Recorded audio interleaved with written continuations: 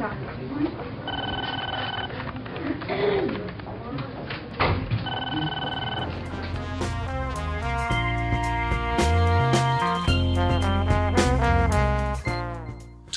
muy buenas. Hay al menos ya una docena de ayuntamientos y por lo menos una comunidad autónoma, la de Aragón, que están en contra y no les gusta nada el anteproyecto de ley que está preparando el que pasara en su momento por ser uno de los ministros más progresistas dentro del grupo conservador y que una vez que se ha desmelenado eh, ha pasado a ser uno de los ministros más conservadores dentro de los conservadores del grupo conservador que es el Partido Popular. Me refiero al ministro de Justicia, el señor Ruiz Gallardón. Está preparando un anteproyecto de ley que habla de, los, eh, de la ayuda a los inmigrantes sin papeles, a los que, según este texto, se puede llegar a multar incluso con penas de cárcel de un año. Si bien es verdad que eh, este anteproyecto de ley está en estudio en el Consejo de Estado y que es un órgano consultivo y que ya se ha modificado diciendo que eh, se penalizará o se, será punible la acción de ayudar ocasionalmente a estos inmigrantes sin papeles. Y digo yo, ¿y qué pasa a los que no los ayuden de manera ocasional y dediquen su, su vida a ello?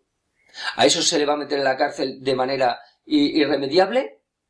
Yo solamente le recuerdo al señor ministro, al señor ministro Ruiz Gallardón, que estoy seguro que hizo la comunión, que mm, en las clases de catequesis que te daban previamente a, a, la primera comunión, le tuvieron que enseñar aquello de dar de comer al hambriento, dar de beber al sediento y dar posada al peregrino. Ay, entonces, ¿qué pasa? Que se nos olvida todo, ¿eh? Se nos olvida todo.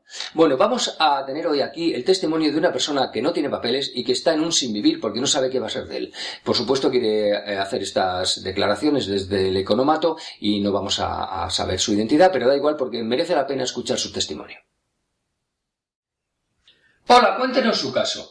Bueno, porque yo estoy muy preocupado porque resulta que nos vamos a ir la semana que viene a casa de mi cuñada, a, Araal, un pueblo de Sevilla que se llama Araal, allí, y claro, a ver si se va a buscar la mujer una ruina porque nos va a dar cobijo, nos vamos a quedar en su casa.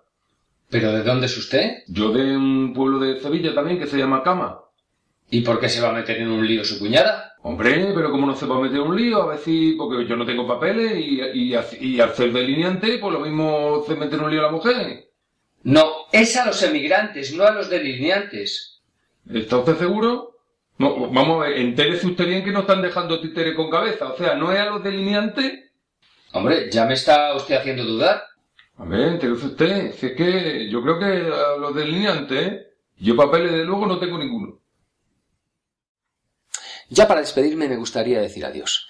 Pero antes quisiera dejar en el aire una reflexión mmm, garrafón, marca chunga, mía, y que hace referencia a lo que está pasando en esta sociedad. La crisis económica por la que estamos atravesando no puede ser una pantalla que oculte actitudes o que justifique actitudes deshumanizadas, actitudes de sin razón y actitudes incívicas e insolidarias como esta, por ejemplo, que acabamos de comentar hace unos momentos.